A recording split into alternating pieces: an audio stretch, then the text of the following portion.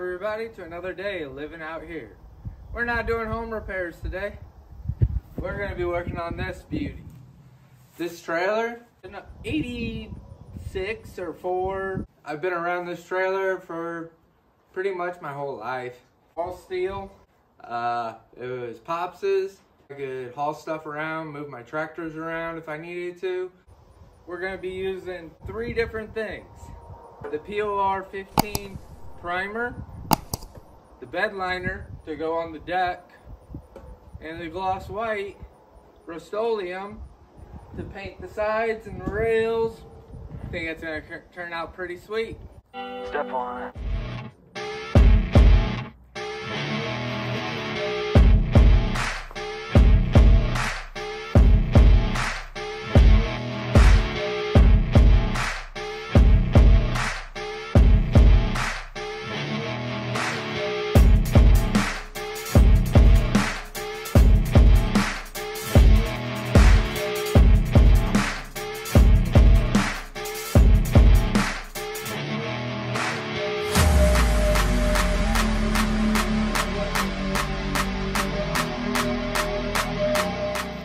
So a little disclaimer, the paint I'm using is about a year old, year and a half old, and it's been stored out our unheated barn and uncooled barn.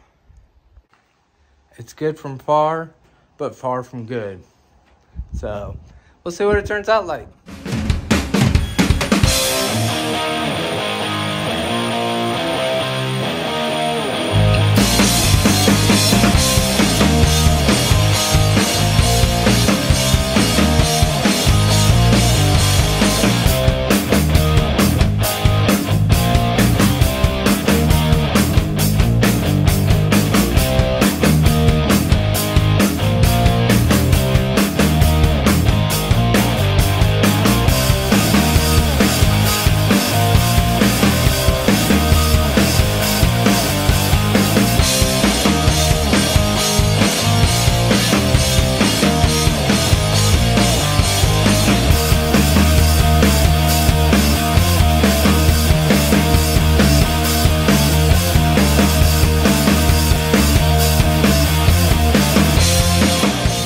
About the wind, but let's take a quick little walk around. It's gonna need a second coat.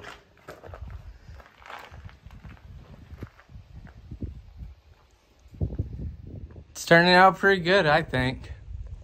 We'll see the end product. Well, we just got the second coat of white put on. Now, we're gonna pull the tires off and paint the inside of the wheel well.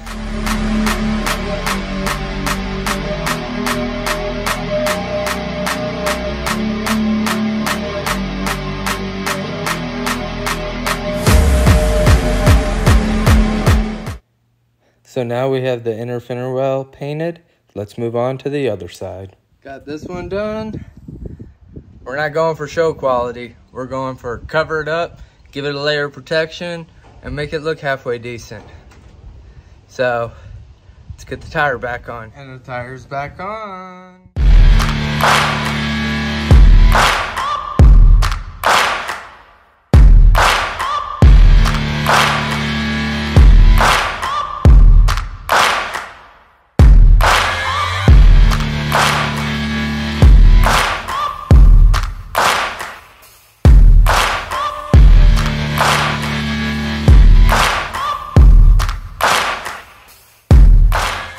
Got the safety chains installed today and we've got the area all taped out so we can put the bed liner on.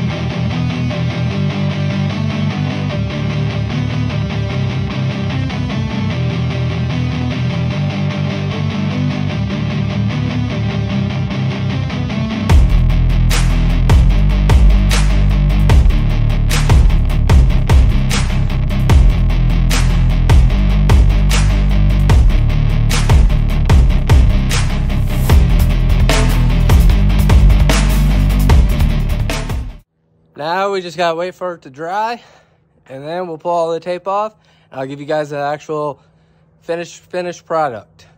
So here's the final product.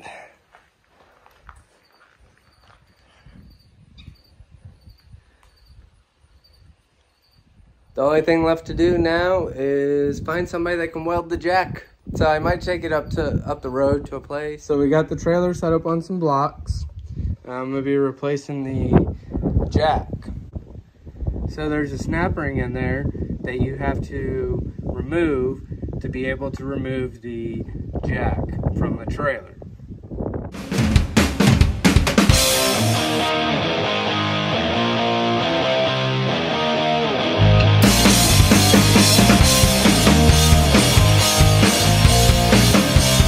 After many minutes of fighting with this, see how this is up just a little bit now? I should be able to pull that snap ring out. Let's see if it works. On the new one, it's a two-ton jack that I got. Here's the snap ring. We're gonna take that off, disconnect basically the weld-on plate from the actual jack assembly, and we're gonna reinstall it. So that snap ring's off. And if you push this through, you can see how it's there's a notch in there.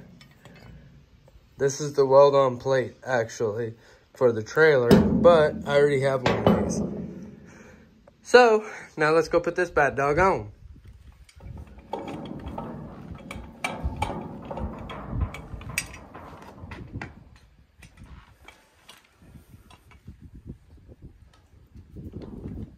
I'm gonna have to move this this hole for me to lock it up. So with this, I wanted to move the retaining pin from here to here for my trailer to make it work the best. The pin slides perfectly in there. No joy. So now we get a drill both sides of this one because this hole's smaller too. Drill this as well and make it so that pin can slide in. Here we go.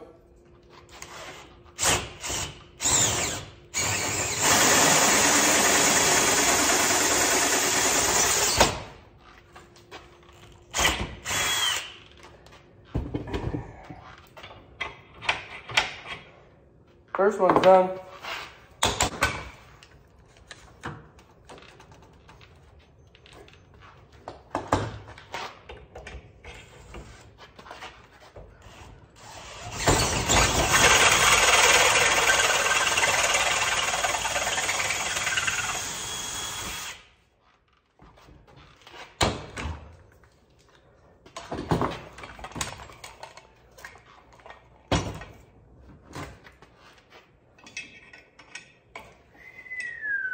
Looking good. So now you can see the pin fits through.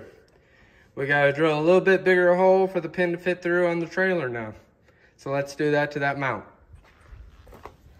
Well, this isn't gonna be my preferred method. I have to guarantee you that.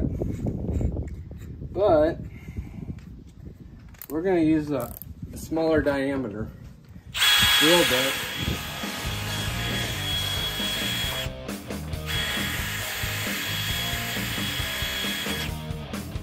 to hold up. 15 years later, it might actually work.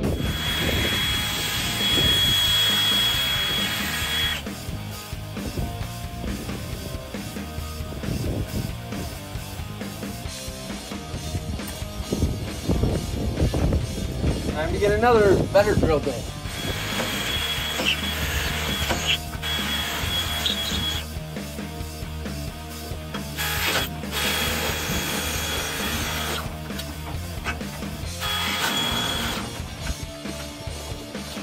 Okay.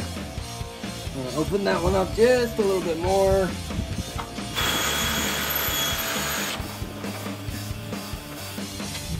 Well, we're having a little problems with uh, a person called Clarence. We're gonna fix that real fast.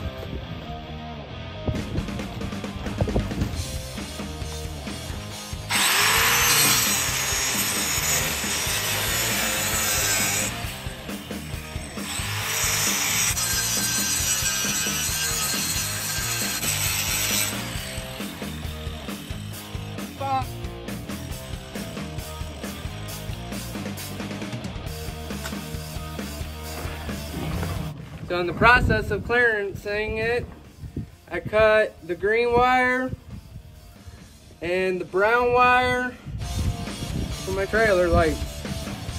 Yay, so let's fix those too after I get this fixed. Still just a little bit more.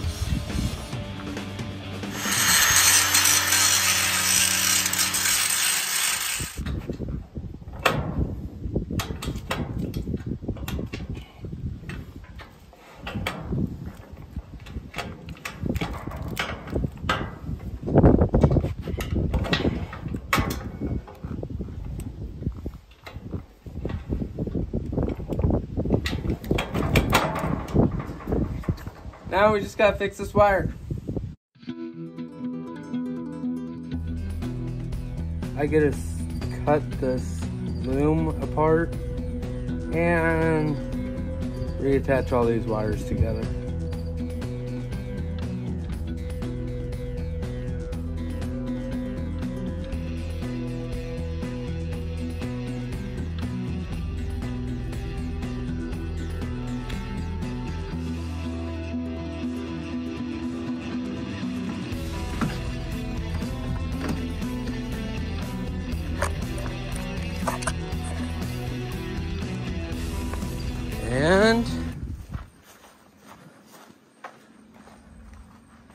I got nothing.